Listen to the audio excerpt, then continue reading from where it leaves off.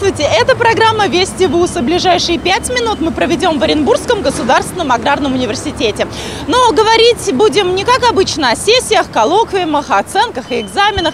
Расскажем об очень важной, нужной, значимой и об очень доброй акции, которую проводит аграрный университет. Впрочем, сейчас сами все узнаете. Они простые люди, такие же, как мы, защищают. Евгений Калачев – студент аграрного университета, далек от политики и от военных конфликтов. Он чисто по-человечески переживает за судьбы людей в Новороссии перед экраном телевизора. Переживания вылились в стихи, а последние – в песню. Собственными глазами, конечно, ну, наверное, я думаю, что, к счастью, я этого не видел. Но, разумеется, ну, как и любой человек, не безразлично интересовался, читал статьи в интернете, смотрел новости. В общем-то, э, когда узнал об этом концерте, отнесся к данному концерту, к данному выступлению весьма серьезно. Действительно пропустил это через себя, и, собственно, так родилась данная песня коротко.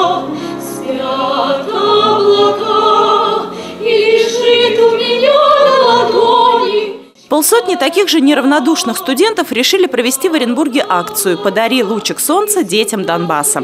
Инициатором выступил аграрный университет. Остальные вузы подхватили идею и объединились в благотворительном концерте. На сцене ОГАУ представили все национальности, населяющие нашу область. Концерт э, затеяли студенты и их желание показать многонациональное Оренбуржье, дружбу всех наших народов – опаску того, что черная чума может прийти в любую страну и разрушить ее так, как она разрушила Украину буквально в считанные месяцы, вот э, концерт направлен на то, чтобы ни в коем случае не допустить национализм в наши сердца. Когда про это узнали Институт культуры Ростроповича, они тут же пожелали участвовать тоже в этой акции.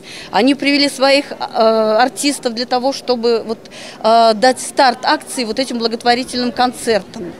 Потом э, к этому присоединился институт э, педагогический. И как-то плавно сработала цепная реакция, когда всем хочется сделать доброе тем, у которых сейчас беда. Но главная идея акции – собрать подарки к Новому году для детей из Донбасса и Луганска. В этих подарках ребята из Новороссии обязательно найдут записку с добрыми словами поддержки и поздравления. Чтобы когда они вскрыли эти подарки, там было бы написано – добрым друзьям от добрых сердец Оренбургского аграрного университета. Сегодняшний день э, это будет только старт, но уже такие хорошие маленькие вязаные носочки навезли наши девчата с экономфака. И, конечно, когда я держала эти носочки в руках, у меня было такое умиление, что даже слезы вот на глазах выступили из этого такого красивого подарка, может быть, недорогого, но дорогого от сердца. После того, как посылка укомплектуется, ее доставят гуманитарным грузом прямо к празднику. На базе нашего института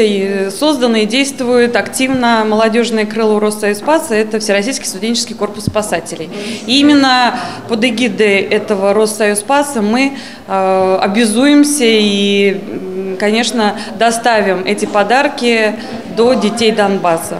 Именно с помощью этой организации э, под эгидой этой организации грузом, гуманитарным грузом МЧС. Как вы думаете, увесистый груз будет? Увесистая коробочка получится с подарками? Надеюсь, что да, потому как э, здесь э, в наших стенах нашего университета тоже дети такие же и студенты. И я думаю, что э, это будет близко им, вот эта боль. И, конечно, российский народ, он всегда очень щедрый. И я думаю, что сами студенты готовы действительно поделиться частичкой э, добра и тепла именно таким детям, которые попали просто в невероятную жизненную ситуацию хотелось бы просто действительно, чтобы на Новый год какое-то волшебство произошло для таких же детей, как и у нас в университете. Единственное, к подаркам для детей есть два санитарных требования. Нельзя передавать мягкие игрушки, и все презенты должны быть в заводской упаковке.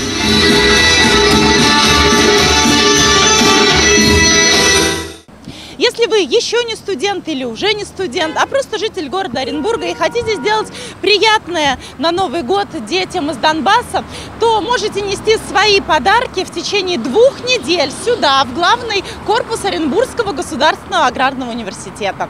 Но у меня на этом все. Это была программа Вести Вуз. До свидания.